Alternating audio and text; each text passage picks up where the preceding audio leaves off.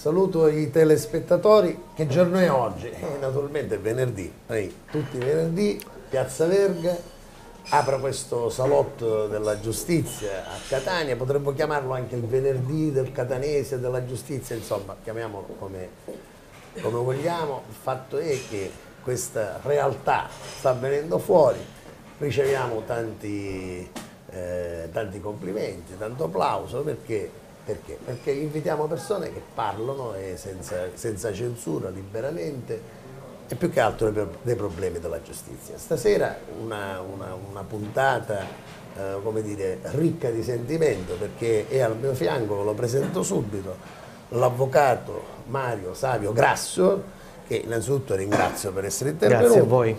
Eh, perché piena di sentimento? Insomma, eh, siamo coetanei, lui ha qualche mese più di me, insomma, eh, cambia poco, siamo purtroppo decani di questo palazzo che abbiamo alle nostre spalle, il Palazzo di Giustizia di Catania.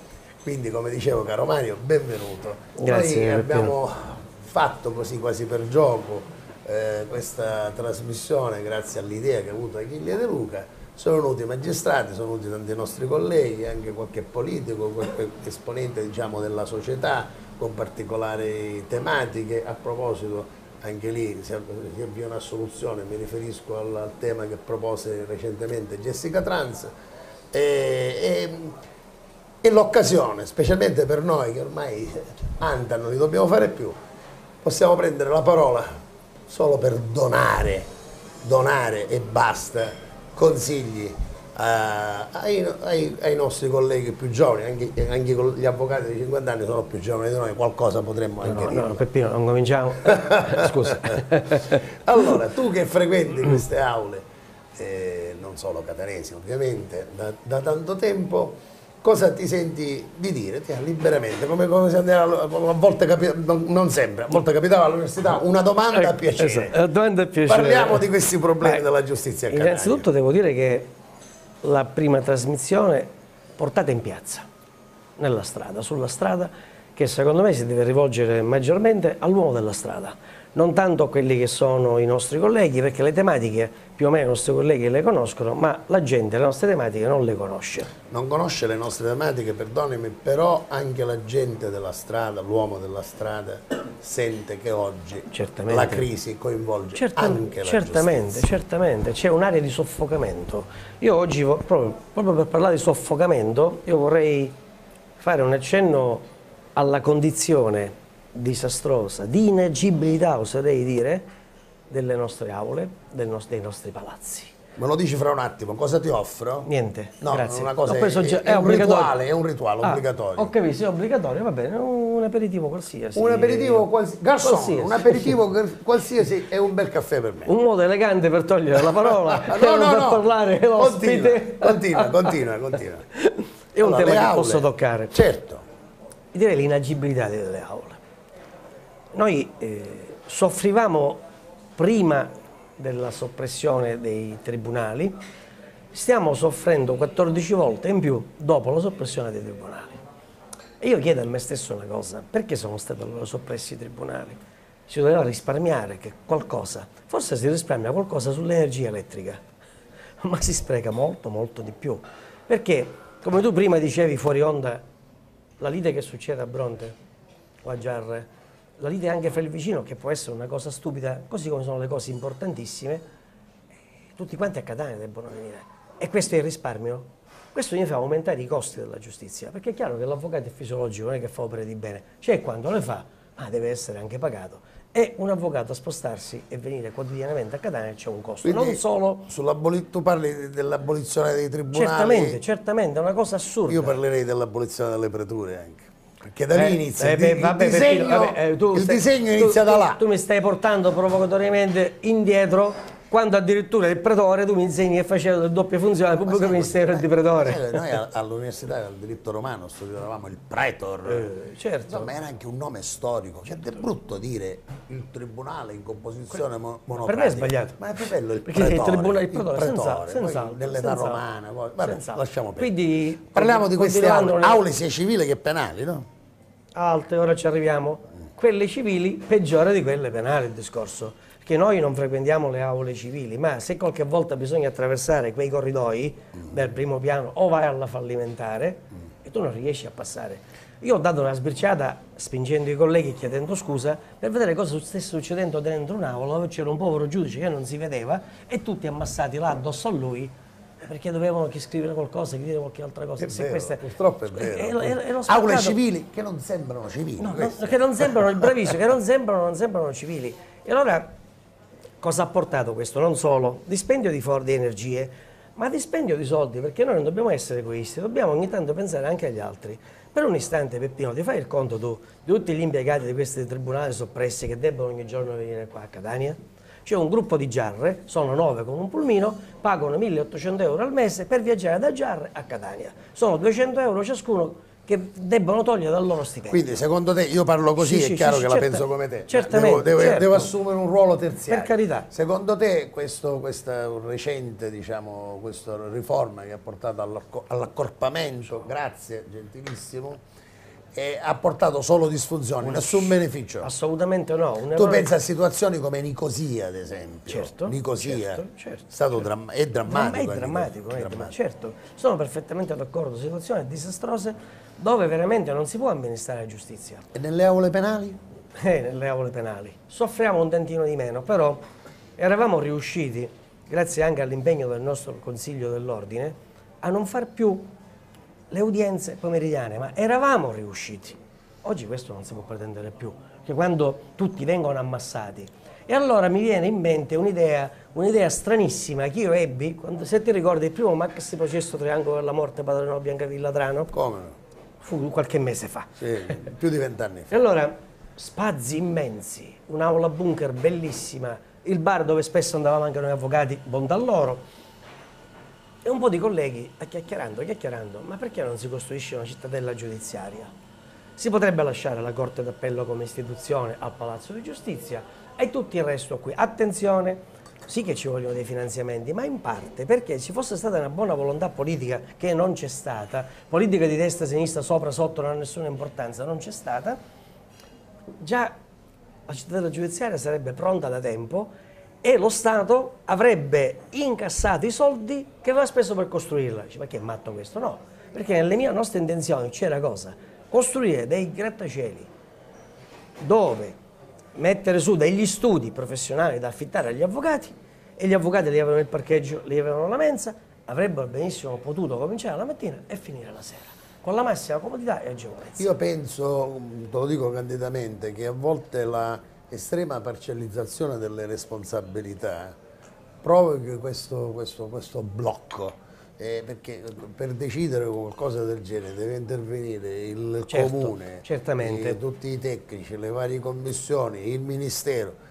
Qua ci vorrebbe un commissario straordinario, Benissimo. nazionale, con poteri dittatoriali per, bravo, per poter Peppino, fare tutte le Peppino, cose. Perdonami, ma quante cattedrali nel deserto abbiamo visto? Caspita. Ospedali super abbandonati, Caspita, mai finiti. Caspita. Sarebbe stata questa un'opera bellissima che avrebbe dato benessere un po' a tutti. Allora, su questo tema siamo tutti d'accordo, lo saranno anche gli utenti, anche noi che siamo operatori quotidiani, questa è la nostra casa perché ci passiamo certo. tempo, anni che, si, che viviamo qui. E hai lanciato, hai lanciato un messaggio qualcuno potrebbe ascoltarlo e recepirlo e noi ce lo speriamo. Da, 30, da 30 anni che si lancia questo eh, messaggio, Pino, ma sì, bisogna sempre continuare per il, il segreto dice che è insistere, non quando... io dico insistere, Insi non resistere. In, insistere, Insistiamo. Esatto. Senti, lasciamo stare le strutture, ora parliamo dei personaggi che ci sono in questi palazzi, perché sai, il, spunto l'ingegnere eh, bravo, eh, nasce un nuovo De Felice a Catania, il palazzo di giustizia nuovo te lo fa però gli uomini, eh, nel senso uomini e donne, avvocati, magistrati, cancellieri, allora, eh, eccetera, questo non lo può fare un ingegnere. Certamente. La tua valutazione, sono... tu quando hai iniziato a fare l'avvocato, dillo tu perché se lo dico ero, io. Ero con Cristoforo Puleo nel 78 Perfetto, eh, perfetto. Ho diventato procuratore nell'81 perfetto. e, e allora, poi tutta la carriera benissimo. fino, fino ad allora, oggi. Oltre 30 anni fa. Esatto. Conosci, hai, conosci, hai operato col vecchio codice di procedura penale,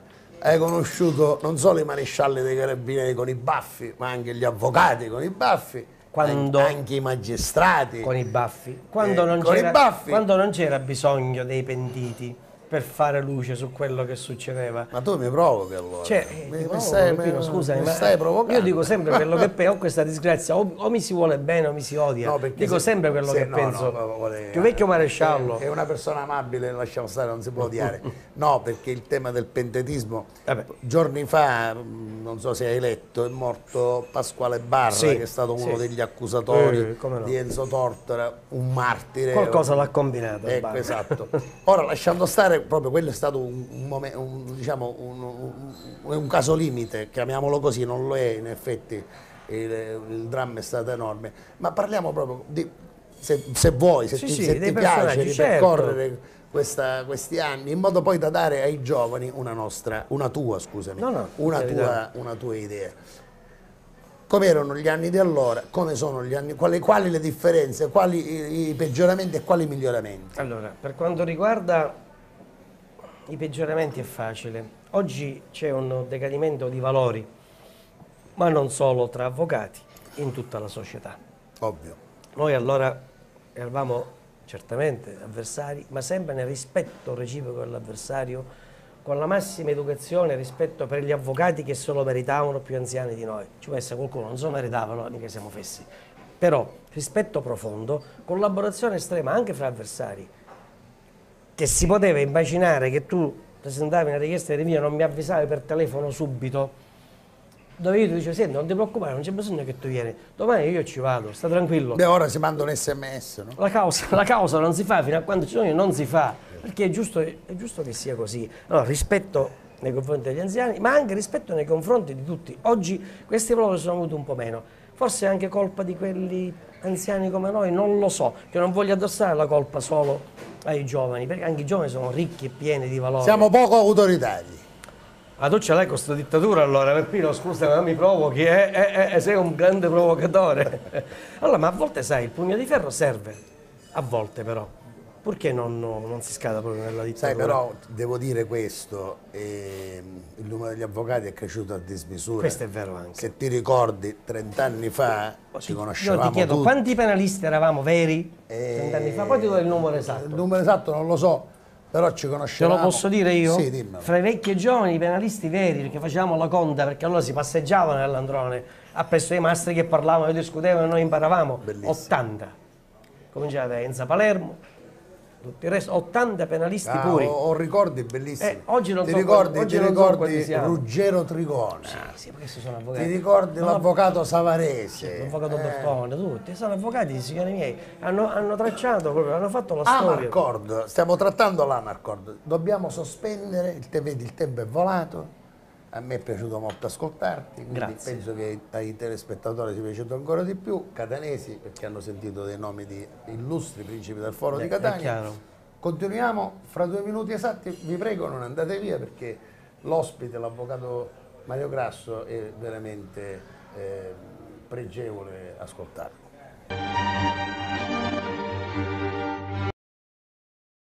Bene, siamo tornati dopo la pausa pubblicitaria. Immagino che siete rimasti tutti lì di- dietro la telecamera, anzi forse siete di più, è il mio ottimismo. Abbiamo parlato poc'anzi, prima dell'interruzione, un po' di questo passato, riferendoci agli avvocati. Ma Insomma, credo che anche la magistratura all'epoca rispecchiava la stessa eh, fisionomia umana. no? Parliamo oggi dell'attualità. Mario Grasso, non nell'81, nel 78, quando eri allievo di Cristoforo Puleo, buonanima, che io mi ricordo benissimo, ma Mario Grasso nel 2015, già grande, eh, sessantenne, se non, non dire- 63 no, no, no, dopo. no, no, no, no, che problemi ci sono? Ecco. Meglio però andare con, la- con l'età di iscrizione all'albo, dai, così siamo sempre più Eh, giovani. allora siamo giovanissimi. Eh, siamo giovanissimi. Allora, dimmi, oggi, l'attualità, Oggi, oggi, oggi, oggi, il rapporto con i giovani colleghi non è dei più facili. Devi riuscire... Perché? Devi ri- perché allora, oggi c'è fretta ad arrivare e pur di arrivare si passa su qualunque cadavere. E allora questa voglia di arrivare, questa spinta, questo- questa malattia di protagonismo no- nuoce sicuramente a quella che era la, la nobiltà della nostra professione. tantissimi giovani, sono ragazzi meravigliosi per bene. Allora cosa bisogna fare? Bisogna accogliere quelli più giovani di noi. Chi come me ha una modesta associazione, l'associazione Forense Liberi Avvocati, cerca di insegnare qualcosa a questi ragazzi. Ma qualcosa, il codice lo conosciamo tutti. Beh, a parte l'associazione che ha uno studio... Ma, ma chi ha uno studio discreto, uno studio discreto, modesto come il mio, cerca di trasmettere, di trasmettere qualcosa ai praticanti, agli avvocati che entrano e che non se ne vogliono poi andare perché evidentemente non si trovano male nel mio studio. E Beh, allora, questo ti fa onore, no? E poi ti gratifica te, mi, gratifica, ecco, mi gratifica molto, certo, veramente. Certo. Eh, ragazzi meravigliosi che mi, stanno, che mi, stanno, vicini veramente con abnegazione, senza nulla chiedere. Io li chiamo questi beni, risor le risorse umane. Certo, Sono certo. beni impignorabili, non ce li possono sequestrare. No, assolut assolutamente no. Ma eh. è chiaro che anche l'avvocato di oggi deve insegnare la professione ai giovani in una certa maniera non può mandarli subito allo sbaraglio, o meglio li deve far camminare da soli, però guardandoli sempre ad una distanza Ma vedi, noi, noi, noi c'era, un periodo che ci chiamavamo, procura, avevamo le stesse Come, funzioni, certo, no, no, quasi, ci chiamavamo no, procuratori legali. Adesso si, si, diventa subito avvocati, no? E questo è il male.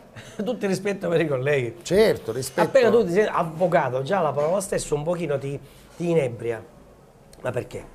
Se sei bastasi, resti sempre bastasi. Se sei educato, resti sempre educato, scusa l'espressione. Quindi il consiglio, il consiglio, migliore che tu ti senti di dare al, al, al giovane laureato qual è? Di scegliere un ottimo studio. E per i primi sei mesi il giovane è quasi un peso per lo studio, quindi non può pretendere nulla. Quando comincia a saper fare qualcosa è giusto che il master in qualche modo lo gratifichi per spingerlo a non può fare il segretario o il, passa, il passapenne, eccetera, eccetera.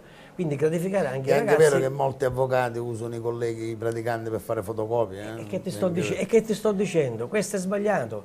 E allora noi dobbiamo cercare a questi giovani di avvicinarli alla professione come era una volta, con il rispetto per tutti, rispetto naturalmente ricambiato, perché nessuno è fesso, per avere una società migliore. È un compito non facile, Peppino per il discorso di me siamo tutti di corsa, tutti che vogliamo guadagnare. Ma vedi, dalle, dalle, poche frasi che riusciamo a dire in questo breve spazio, una cosa emerge da, dal tuo dire, che questa sì, è un mestiere, ma non è un mestiere, qua ci vuole passione per farlo. Bravo. Momenti, vuole, momenti ci vuole brutti, molta passione. Momenti brutti ne abbiamo tutti, manderemmo a volte all'aria qualunque cosa, però quell'amore che ti lega alla professione, alla toga, eh.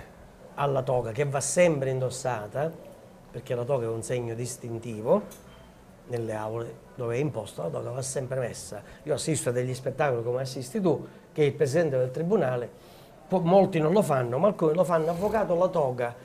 Quella per me è come se avessero dato uno schiaffo al collega, alla professione, non al collega, avvocato la toga. Se la mette. Eh, quando avvocato se la mette, insomma, eh, noi, dobbiamo guardare, noi dobbiamo guardare i magistrati negli occhi a un livello paritario. Parliamo dei magistrati. E lo sapevo che tu Parliamo dei magistrati. Che tu mi portavi, che tu mi Parliamo portavi dei magistrati. Io sai, li considero nostri eh, diciamo confratelli, cugini, chiamiamoli come hanno scelto altre strade. All'inizio si è detto tu giochi in porta, tu giochi all'attacco, loro hanno scelto di fare gli arbitri. Ma insomma, siamo colleghi, eh? certo. abbiamo la stessa laurea. Dovremmo avere lo stesso fine, che è quello certo. di dare giustizia alla gente noi dovremmo contribuire, noi siamo dei servitori, loro sono proprio dei sacerdoti. Oggi com'è la situazione? Allora, noi indossiamo entrambi la stessa toga, sia i magistrati che gli avvocati indossano la stessa toga, quindi con gli stessi principi di portare avanti la giustizia, la lealtà, l'accertamento della verità a tutti i costi, perché noi miriamo proprio a quello, e i rapporti a volte non sono dei migliori perché tu ti senti più importante perché stai seduto là sopra o perché amministri la giustizia. Allora, prima di ogni cosa siamo tutti uomini.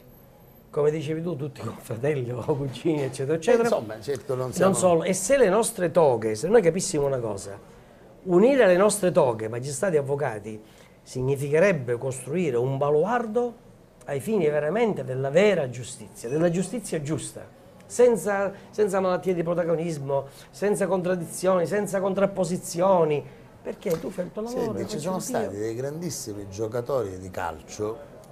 Mi tocchi dove io sono ignorante. Dopo, no, no, no, no, è solo un esempio che voglio fare, dei grandissimi giocatori di calcio che dopo che hanno avuto la loro brillante carriera, fine carriera, non Bene. possono giocare più Benissimo. e diventano allenatori o, ovvero dirigenti di una squadra. Mm.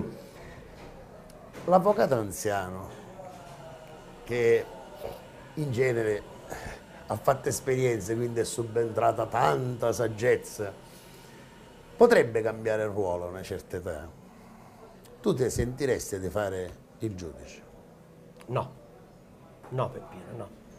Non mi dire perché, sarà deformazione professionale, sarà- io cerco sempre la verità, ma dimmi anche Vigliaccolo, ma non sarei in grado di giudicare sempre con serenità. Ecco, io a te te Perché- lo farei fare il giudice, perché c'è quel- Proprio la risposta che hai dato, Perché c'è quel, la, risposta, volte- la risposta che hai dato, l'umiltà, l'umiltà, che tu sottintendi con questa risposta Certamente. mi conferma la mia idea che tu potresti fare il giudice. Sai Peppino, Io dico- ho una malattia su Io questo. ti dico una cosa, che spesso oggi chi è umile è considerato da tutti fesso. Non capiscono che per essere umili ci vuole una forza, ma una forza che dire non si può, immensa. Tu la pensi come me, abbiamo, abbiamo più di 30 anni di iscrizione all'albo professionale, basta, ci fermiamoci lì, eppure alla fine ci, ci sentiamo dei Però praticanti. sai cosa succede Peppino? Tutto passa nella vita. Tu vedi il vecchio magistrato che ha operato bene, oggi in pensione da 5-10 anni entra in tribunale, io a Tutti qualcuno, lo rispettano. a, no, a qualcuno ci sa Benedica, Presidente. Bravo, bravo, bravo. Qualcun altro non lo salutavo prima, mi ritavo solo a scrivere, non lo saluto adesso. Ma per concludere, è migliorata la giustizia negli ultimi 30 anni o è peggiorata? Beh, sarebbe facilissimo rispondere che è peggiorata, ma apriremmo un taglio. Devi dire quello che pensi. Per me è peggiorata. È peggiorata. È peggiorata.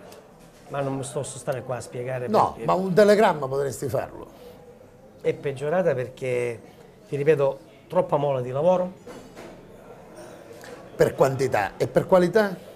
Mm, la qualità. La qualità ci sono de- degli ottimi magistrati che si impegnano, studiano, a prescindere dal discorso delle ferie di 30 giorni, 45 giorni, che sono delle sciocchezze per me enormi. Enormi, Siccome noi, noi discutiamo su di tutto, contro tutto sul sesso degli angeli, perché il magistrato che si porta il carrello da presso con i faldoni che si è portato a casa per studiare, che non c'ha una stanza dove studiare con tranquillità, insomma queste sono le cose che noi almeno ci chiudiamo nel nostro studio, Peppino, e quando vogliamo i processi ce li sappiamo studiare.